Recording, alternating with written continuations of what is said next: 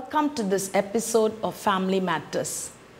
I'm delighted to be talking to you all today about families. Family is God's idea, and Satan always tries to oppose what God wants to bless. That is why we face a lot of issues and challenges in our family life. So, we are here to help you and to support you. Call us, there's a number on the screen. You can post your prayer requests. You can also post some questions or challenges that you face in, in which we could be of help to you. This is a program in which we speak about marriage, we speak about parenting, and all the other things that are related to families. And in today's topic, I thought I'll be discussing about financial blessings. We find that most of the family problems are because of financial crisis. Sometimes uh, it leads to even separation. So today let's see how to receive financial blessings for the family. The Bible teaches us that love of money is the root of all evil. At the same time, the Bible also teaches us that money is the answer to everything. In Ecclesiastes, we read this. So let's see what God has to teach us about finances. Um, I thought we will study the life of Jacob to see how God has uh, blessed Jacob and what principles we learn from his life. Let's turn to Genesis 32 and read verse 10. If you have your Bibles, turn with me to Genesis chapter 32 and let's read verse 10. I'm unworthy of all the kindness and faithfulness you have shown your servant. I had only my staff when I crossed this Jordan, but now I have become two groups. Jacob was actually a cheat, he was a deceiver. He left his family, he had to run away to his uncle's place. And there again, he, he had to, he was cheated by his uncle. And now God asked him to get back to where he, uh, his father lived. When he was coming back, he says, I am unworthy of all the kindness and faithfulness you have shown your servant. I had only my staff when I crossed this Jordan, but now I have become two groups. So God, he had nothing when he when he went to his uncle's place. Now he was returning from his uncle's place and he has two groups now. What a great blessing. What a lot of wealth he has accumulated in the past 20 years. And these past 20 years, his uncle was not a very kind boss. He was a very difficult boss. Uh, he worked for his wives for 14 years and he worked for himself and his children just for six years and he was collecting all the wealth and he was going back. So God had blessed him with great wealth. So what do we learn from his life? Genesis chapter 31, reading from verse 1. Jacob heard that Laban's sons were saying, Jacob has taken everything from our father, owned and had gained all this wealth from what belonged to our father. And Jacob noticed that Laban's attitude toward him was not what it had been. Then the Lord said to Jacob, Go back to the land of your fathers and to your relatives, and I will be with you. So Jacob sent word to Rachel and Leah to come out to the fields where his flocks were. He said to them, I see that your father's attitude toward me is not what it was before, but the God of my father has been with me. You know that I've worked for your father with all my strength. Yet your father has cheated me by changing my wages ten times.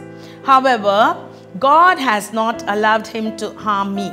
If he said, The speckled ones will be your wages, then all the flocks gave birth to speckled young. And if he said, The streaked ones will be your wages, then all the flocks bore streaked young. So God has taken away your father's livestock and has given them to me. If we go on reading, he says, I am the God who brought you out of Bethel, where you anointed a pillar and where you made a vow to me. Now leave this land at once and go back to your native land. So, the first thing that we find here, the prince of Jacob became a very wealthy man. He was blessed financially.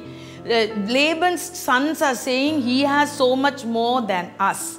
Laban also, his attitude and his face changed, his expression changed because God blessed Jacob. So, how, what are the principles that we learn from this uh, incident in the life of Jacob? The first thing that we know is he heard from the Lord and he obeyed. So, the first principle is for you to gain wealth, to have financial blessing, hear from the Lord.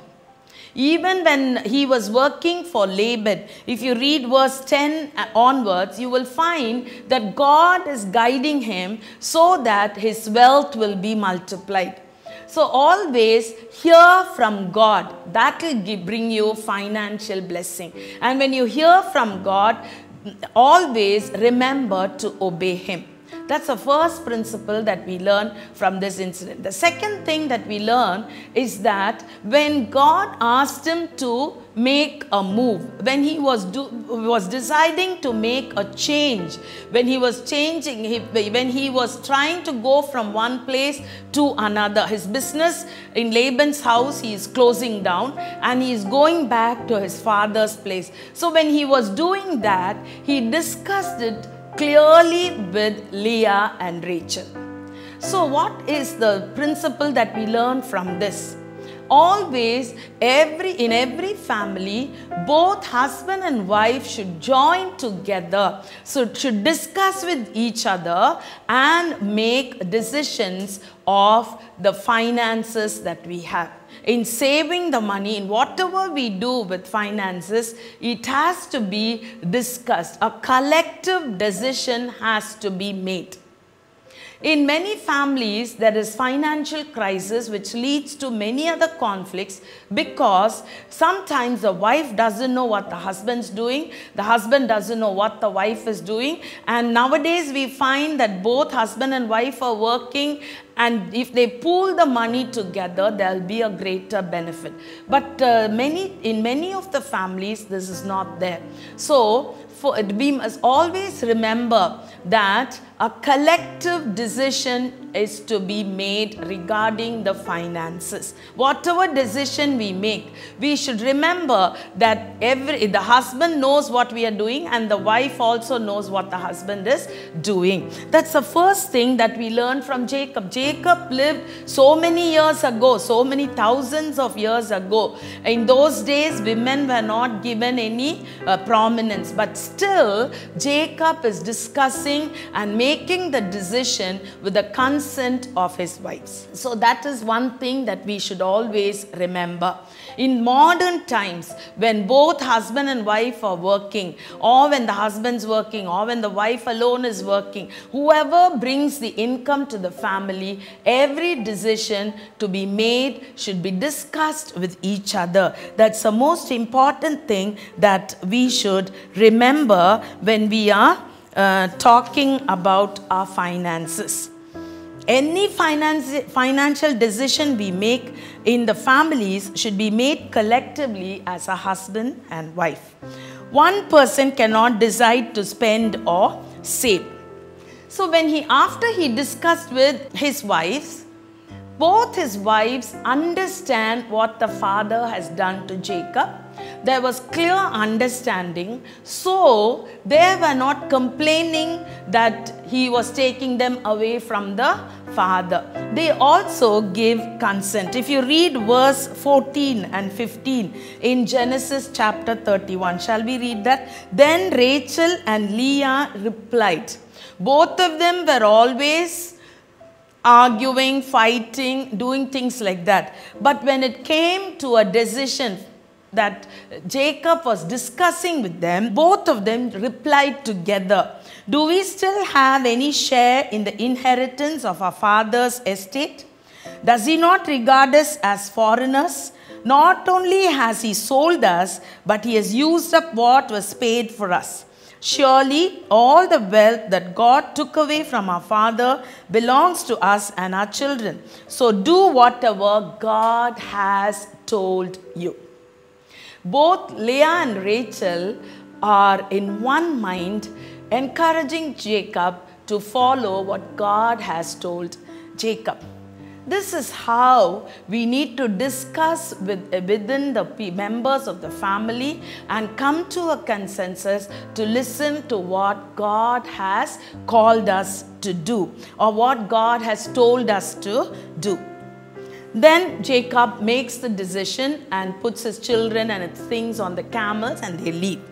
So that's the second, first principle here from the Lord.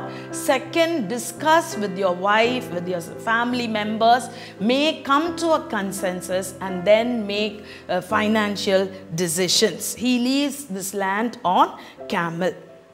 Then the next principle that I feel that we should learn from this incident is do not hide anything from your spouse regarding the finances or your wealth. Do not hide anything. There should be no secrets. There should be a no second account or there should be no secret account. Because we find that when uh, Rachel leaves her father's house, she collects the idols from her father without her father knowing it and brings it along with Jacob. She did not reveal this to him. You know the story, you know the incident. She did not reveal this to him. So, after a few days, Laban finds out that his idols were missing. So, he comes back, follows uh, Jacob. In chapter 31 of Genesis and verse 19, we read When Laban had gone to shear his sheep, Rachel stole her father's household gods. And Laban comes back to Jacob and the only complaint that he makes to Jacob is given in verse 30. Now you have gone off because you long to return to your father's house. But why did you steal my gods? That was the only complaint Laban could make against Jacob. So, when there was some, and Jacob here answered Laban, I was afraid because I, would, I thought you would take your daughters. Now Jacob did not know that Rachel had stolen the gods. So he was challenging, Jacob was challenging Laban. But finally, somehow, Rachel sat on the idols and she escaped the father's wrath. So, don't have any secrets between your, the husband and the wife. When you are using regarding the finance for everything it, it is for everything but especially for finances to have a great financial blessing. And in uh, genesis chapter 35 and verse 2 we read that jacob when he met the angels he had to sanctify his household. He had to throw all the idols into a pit. So that is how when we have secrets, it will have a greater bad effect on our finances. So the next thing that we should remember, first thing, hear from God, obey Him. Second thing, discuss with the husband and the wife should discuss together the family members and make a decision. Thirdly there should be no secrets in using finances. And the fourth one we read about uh, Jacob in chapter 31 Genesis chapter 31 if you turn to verse 38 38 and 39, we read, I have been with you for 20 years now. Your sheep, he is talking to Laban. Your sheep and goats have not miscarried, nor have I eaten rams for your flocks. I did not bring you animals torn by wild beasts. I bore the loss myself, and you demanded payment from me for whatever was stolen by day or night. This was my situation. He says, uh, The heat consumed me in the daytime, and cold at night, and sleep fled from my eyes. This talks about responsibility and hard work.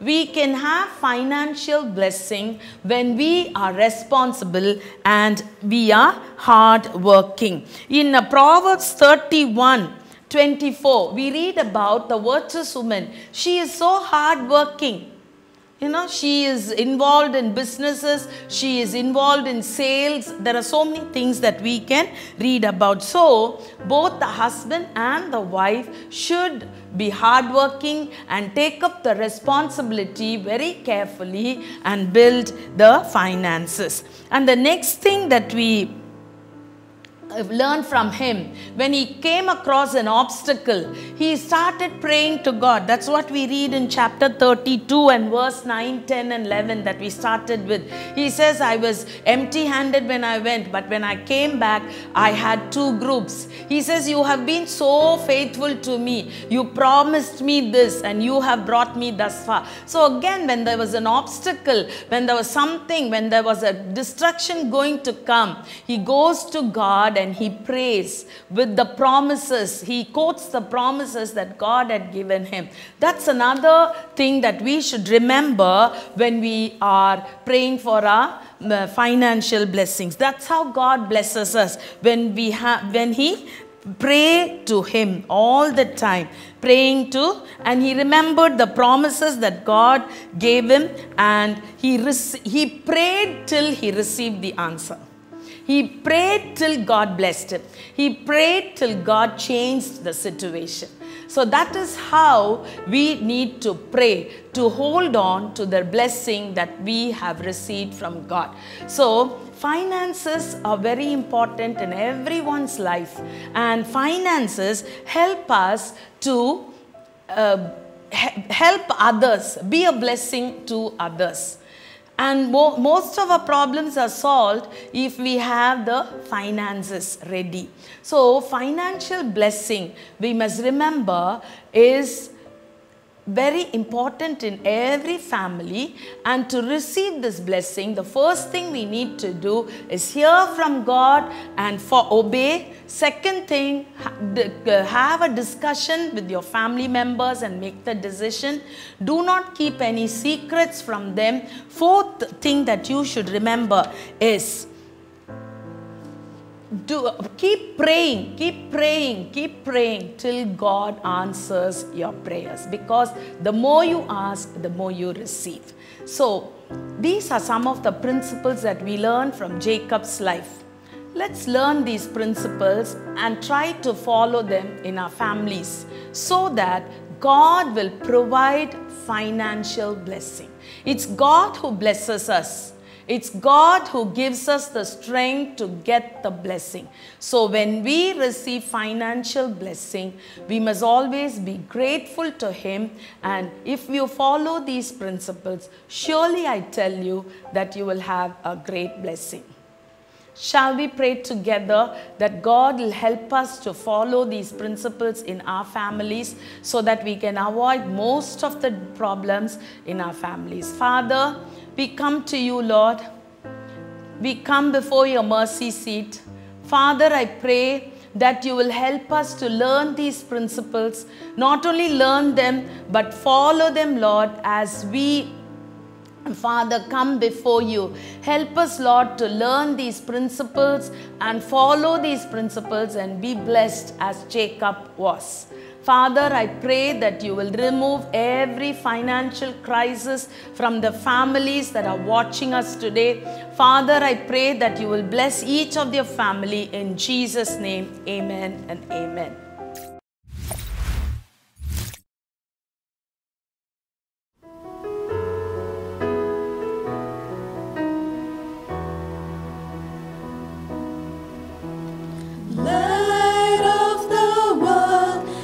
step down.